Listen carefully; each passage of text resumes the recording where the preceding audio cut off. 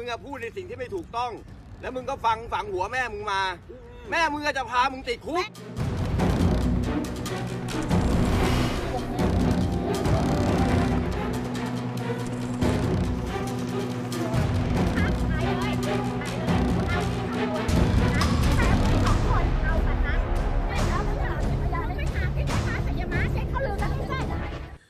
ณะนี้ 6นาฬิกา35 นาทีครับ มาติดตามข่าวเช้า Workpoint กันต่อนะครับคุณผู้ชมฮะอะมาติดตามเรื่องนี้นะคุณผู้ชมครับเขาบอกว่าเนี่ย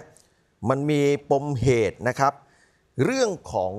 การแค้นกันมาเรื่องเกี่ยวกับมรดกมาก่อน แต่ว่าฟางเส้นสุดท้ายเนี่ยก็คือกรณีที่ว่าเนี่ยอีกฝ่ายหนึ่งเรื่องให้อีกฝ่ายเนี่ยไปขยับรถนะฮะช่วงกลางดึก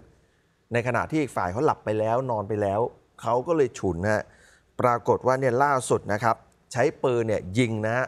หลานใช้ปืนยิงลุงจนกระทั่งเสียชีวิตเนี่ยคุณผู้ชมฮะโดยเหตุเกิดที่นางรองจังหวัดบุรีรัมย์ตำรวจเข้าตรวจสอบเนี่ยคืนกลางดึกวันที่ 26 กุมภาพันธ์หลังจากได้รับแจ้งเหตุบอกว่าเนี่ยมีคนถูกยิงตายครับ ชื่อนายสุภเวศอายุ 57 นะครับ โดนยิงที่ชายโครงซ้ายทะลุขวาหนึ่งนัด เสียชีวิตอยู่กลางถนนภายในหมู่บ้านดอนแสลงพันธ์หมู่ที่ 4 ตำบลนางรองอำเภอนางรองจังหวัดบุรีรัมย์นี่นะฮะ ส่วนคนที่ก่อเหตุชื่อนายวัชิรวิทย์อายุ 19 ปีเป็นหลานนะครับ ก็ยืนรอมอบตัวกับทางตำรวจ โดยมีของกลางก็คือปืนขนาด 9 มม โดยผู้ที่เป็นพี่เขยของผู้เสียชีวิตชื่อนายอดุล บอกว่าขณะเกิดเหตุนั่งกินเหล้าอยู่กับผู้ตายตั้งแต่ช่วงเย็นที่บ้านอีกหลังหนึ่ง ซึ่งอยู่ไม่ห่างจากบ้านผู้ก่อเหตุ ต่อมาประมาณ5้าทุ่มครึ่งกำลังจะกลับบ้าน แต่รถของนายวชิรวิทย์ผู้ที่เป็นหลานเนี่ยนะจอดขวางอยู่ ผู้ตายก็เลยตะโกนเรียกให้หลานเนี่ยออกมาขยับรถ แต่หลานไม่ออกมาสักที จึงตะโกนเรียกอีกหลายครั้งทำให้นายวชิรวิทย์ซึ่งกำลังนอนหลับอยู่โมโหครับ เดินลงมา แล้วก็ชักปืนเนี่ยจ่อยิงผู้ตายจนกระทั่งล้มลงไปเสียชีวิตเลยนะครับ ขณะที่ผู้เป็นแม่ของนายวชิรวิทย์ชื่อนางพกาพร มาให้ปากคำนะกับทางตำรวจ โดยบอกว่าเนี่ยคือบ้านทั้งสองหลังเนี่ยก็อยู่ใกล้กัน มันมีปัญหากันมานานละ เกี่ยวกับเรื่องของมรดกที่ดินนะฮะมาตั้งแต่ปี 2560 ซึ่งก่อนหน้านี้นะครับคือบอกว่าพ่อเนี่ยตายแล้วก็มีการแบ่งที่ดินให้ลูกๆเนี่ยจนครบหมดทุกคน แต่ยังเหลือที่ดินอยู่อีก 10 ไร่ พ่อได้เขียนกระดาษลักษณะเป็นพินัยกรรมไว้ว่าที่ดิน 10 ไร่ที่เหลือเนี่ยจะยกให้กับเธอกับน้องสาว แต่พี่ชายก็คือนาย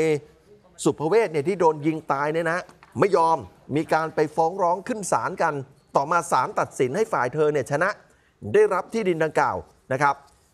ก็เลยทำให้ที่ผ่านมาเนี่ยพี่ชายเนี่ยพยายามจะชวนทะเลาะมาโดยตลอด เพื่อหวังจะได้ที่ดิน 10 ไร่เนี่ยมาเป็นของตัวเอง แล้วก็เนี่ยนะฮะมีการมาล้อมรั้วกั้นเอาไว้ จากนั้นเธอต้องการจะรื้อรั้วบริเวณที่เข้าไปในที่นาของเธอออก แต่พี่ชายก็เอาป้ายมาติดอีก บอกว่าเนี่ย ใครทำรั้วของข้าพเจ้าเสียหายขอให้กรรมตามสนอง จนกระทั่งเนี่ยเคยมีปากเสียงกันมาแล้ว อันนี้แม่ของนายวชิรวิทย์ผู้ก่อเหตุนะฮะบอกว่าเนี่ยมันมีปมทะเลาะเกี่ยวกับเรื่องที่ดินมาก่อน แล้วก็บอกว่าเนี่ยมันมีคลิปนะตอนที่มีปากเสียงทะเลาะเกี่ยวกับเรื่องที่ดิน ย้อนกลับไปดูคลิปนี้หน่อยคุณผู้ชมฮะแม่มึงอะโลภมากที่ตรงเนี้ยเลี้ยงพ่อลูกกลัวแบ่งให้หมดแล้วนี่บองก็เฮ้ยเล็กๆกูเห็นมึงอะกูมาเลี้ยงดูมึงอะมึงน่ารักมึง น่ารักมาก มึงอะมึงอะฝักมึงแม่มึงอะพูดในสิ่งที่ไม่ถูกต้อง แล้วมึงก็ฟังฝังหัวแม่มึงมา แม่มึงก็จะพามึงติดคุกแม่มึงกูอะจะบอเป็กนให้ แม่ที่เลี้ยงลูก โดยที่ว่า แม่มึงอะโลภมากที่ตรงเนี้ยเลี้ยงพ่อลูกกลัวแบ่งให้หมดแล้วรังแกหนู ฮะเขาแบ่งกันหมดแล้วในพินัยกรรมมึงอะเขาก็บอกอยู่แต่จริงๆอะมึงเขียนมาก็เขียนผิด มึงบอกว่าที่อะตาแบ่งให้หมดแล้วคนละที่ใครที่มัน แล้วมึงจะบอกไปที่ของมึงได้ไงเนี่ย ที่กูตรงไหนบ้างมึงชี้มาอะก็นี่ไงที่กูอะไร ที่กูที่หน้าที่กูเนี่ยกูกั้นรั้วไว้ ที่กูตรงไหนอะมึงบอกกูมาอะไร แล้วที่กูตรงไหนมึงที่ไม่มีที่มึงแล้วที่มึงอะไม่มีที่กูที่มึงไม่มี อ้าวนี่ไงที่แม่มึงนี่ไงอะไรตรงไหนบ้างอะไม่ต้องไปขี้ไม่ต้องมีไม่ไม่มีแล้วผมลูกโดยที่ว่า คุณผู้ชมครับนี่คือตอนที่ผู้ตายยังมีชีวิตอยู่นะครับ ก็มีปากเสียงทะเลาะกันนะฮะกับบ้านหลังเนี้ยเกี่ยวกับเรื่องของที่ดินเนี่ยนะครับคุณผู้ชมฮะซึ่ง น้องสาวของผู้ตายเนี่ยนางพกาพรบอกว่าทุกครั้งที่เธอกับลูกชาย ไปที่นาของตัวเองก็มักจะมีปากเสียงทะเลาะกับเนี่ยทะเลาะกับผู้ตายเนี่ยทุกครั้งเลยนะครับ ทีนี้เนี่ยนะครับคืนเกิดเหตุลูกชายก็นอนหลับไปแล้ว แต่กลับถูกเนี่ยผู้ตายเนี่ยซึ่งเป็นลุงเนี่ยนะมาตะโกนเรียกดังลั่นบ้าน เพื่อให้ไปย้ายรถออกนะครับ ทั้งที่มันก็มีทางออกอีกทางหนึ่ง นี่อาจจะเป็นฟางเส้นสุดท้าย ของลูกชายที่ทำให้โมโหฉุนขาดก็เลยก่อเหตุเนี่ยยิงลุงจนตายค่ะอะเดี๋ยวลองฟังผู้เป็นแม่หน่อยนะกล้องแม่มันน่าจะเสียทะเลาะกันมากี่ปีแล้วครับเนี่ยเรื่องที่เนี่ยเออตั้งแต่ปี 60ค่ะเออแล้วเขาขอเป็นผู้จัดการมรดกปี 60 ถึงปีเนี่ยณปัจจุบันเขายังไม่ทำการแบ่งบ้านเลย แล้วเขาแจ้งความจับดิฉันตลอด ว่าดิฉันบุกรุกบ้านเขา เขาเป็นผู้จัดการมรดกฉันก็เป็นผู้มีส่วน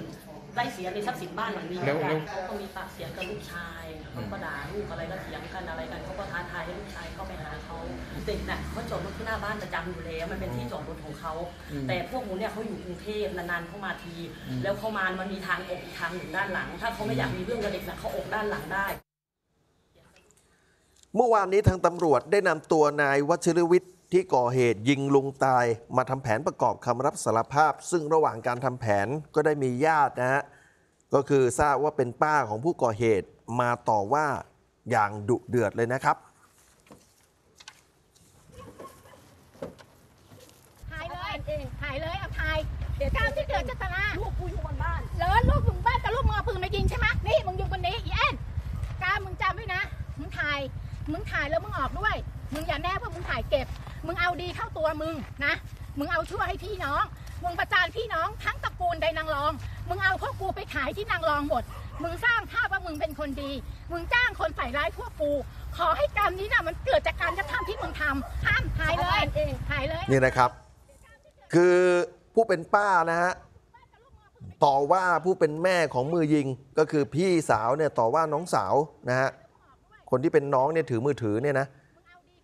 ประมาณว่าเนี่ย ทุกอย่างเนี่ยเอาดีเข้าตัวหมดอะไรประมาณนี้เนี่ยนะฮะทีนี้อะเรื่องของคดียิงกันตายเนี่ยนะครับ ทางตำรวจครับก็ได้มีการคุมตัวนายวัชิรวิทย์มาทำแผน ซึ่งเจ้าตัวก็บอกว่าเนี่ยผมก็มีเรื่องกับลุงมาหลายครั้ง ส่วนใหญ่เนี่ยฝ่ายผมเนี่ยเป็นฝ่ายถูกกระทำคืนเกิดเหตุเนี่ยผมนอนอยู่บนบ้านกับเมีย แต่ทางลุงแล้วก็เพื่อนลุงเนี่ยมากันเนี่ยเป็นสิบมานั่งกินเหล้ากันข้างบ้าน เหมือนมาจงใจกันแกล้งหาเรื่องกัน ตอนที่ถือปืนออกมาจากบ้านก็ไม่ได้ตั้งใจจะยิงใครหรอก แต่จังหวะนั้นเนี่ยลุงเห็นปืนก็เลยวิ่งเข้ามากอดจะแย่งปืน ปืนมันก็เลยลั่นใส่นะครับ เหตุการณ์ที่เกิดขึ้นนะครับ ผมเนี่ยจะไม่ไปขอขมาคนตายไม่ไปขอขมาศพ เพราะผมเองก็เจ็บมาหลายปี หมายถึงว่าเนี่ยเจ็บแค้นนะอะเดี๋ยวลองฟังหน่อยฮะเขามาบุกรุกมาเขตบ้านผมก่อนครับเราไม่ คือไม่ขอโทษเลยอะไม่ครับเพราะเขาจะมาทำร้ายร่างกายผมด้วย ผมไม่ขอโทษทำไมพวกผมบอกว่าให้หยุดให้ถอยออกไป แต่เขาวิ่งมาใส่ผมเลย แล้วตอนนั้นกลางคืนไม่รู้ผมเขามีมีดมีปืนหรือเปล่าก็ไม่รู้ ผมก็ต้องป้องกันตัวและทรัพย์สินผม เห็นไหมเขาเขาลุงไงเขาเขาพาพวกมากี่คนมาเกือบสิบคนนะครับรถกระบะเลยรถสามคันอะ แล้วเขาก็เมากันด้วย แต่เขาก็มามากอดเราใช่ไหมมาโอบเราใช่ไหมเขาเข้าวิ่งมาตรงนี้ครับวิ่งเข้ามาสวมอกผมเพื่อจะแย่งปืนกับผม แล้วมือผมก็อยู่อย่างนี่ผมบอกอะมันก็ลั่นปั้ง แล้วเขาผมก็ผลักเขาออก แล้วที่ว่าเราเรารถจอดขวางเขาเนี่ยมันมันใช่ไหมรถผมจอดนี้ทุกวันมันเป็นบ้านผมอะเขาไม่เคยมาอยู่ๆเขาก็มากัน แล้วทางออกถ้าเขาไม่อยากประทะจริงๆเออเขาออกข้างหลังก็ได้ แล้วทำไมไม่คุยดีๆก่อน ผมก็ลุกปืนมาเพื่อป้องกันตัวแต่ว่าเอออย่าเข้ามานะในเขตบ้านก็คุยกันดีๆปืนได้ปืนป่ะครับรถกระบะเลยรถสามคัน ล่าสุดทางตำรวจก็ดำเนินคดีกับนายวัชรวิทย์ในข้อหาฆ่าผู้อื่นโดยเจตนา และก็ความผิดตามพรบอาวุธปืนต่อไปนะครับคุณผู้ชมครับ ครับ